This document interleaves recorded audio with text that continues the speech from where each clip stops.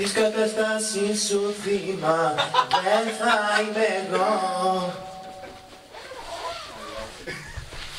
Α, οκ.